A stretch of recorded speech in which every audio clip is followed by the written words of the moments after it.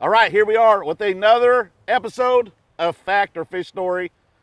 Hey, you know the rules, but real quick, Alton Jr. again. You know what? He almost got me on the last one, but the rules, Junior, you got two stories. One's a fact and one's a fish story, and I'm the I'm the I'm the bloodhound in this. I got to figure it out. So let's get to it.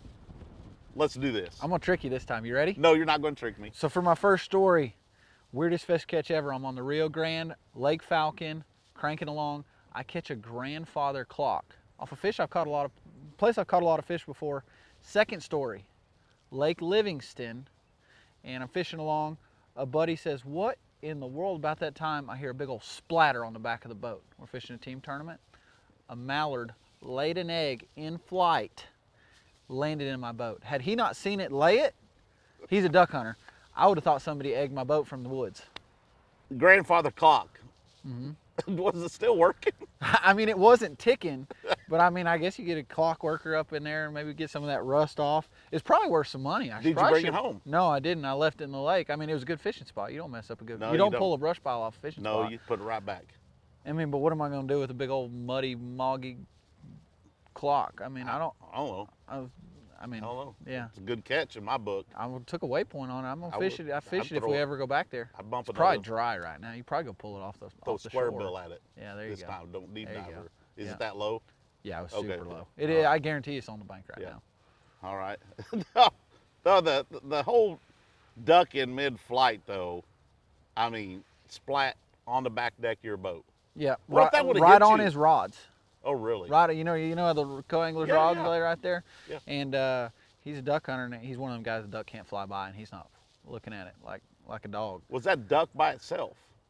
I believe so. I did not see the duck lay the egg. Okay. Was it I just one by itself? I assume. I guess we spooked it. up. We were kind of in the back of a pocket. Yeah. It's just springtime. I was trying to sight fish. But it was a mallard. He said He said it was a mallard hen, mallard hen, not a mallard drake. not a mallard drake. All right.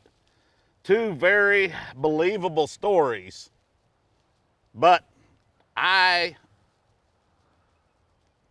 I don't know why somebody would throw like a cuckoo clock, grandfather clock into the lake right there other than to throw their crankbaits at it.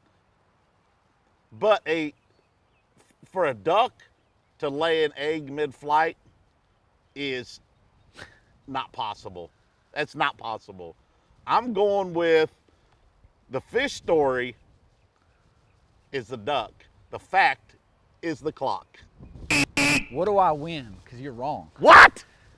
Laid an egg in flight, landed in the There's boat. no way, Swear. man. all my life. Now, I did kind of steal the grandfather clock story. Oh, somebody else had it. My dad caught a grandfather clock one time cranking. Unbelievable. So there's a little bit of truth to it. It just wasn't me. I can't win for nothing. All You do beat me win. last time. All you do is win. Well, that's another episode. I don't know what my record is now, but Junior got me on this one. Thanks, Alton Junior. Watch out for ducks flying. I will. I'm like forever. what is that?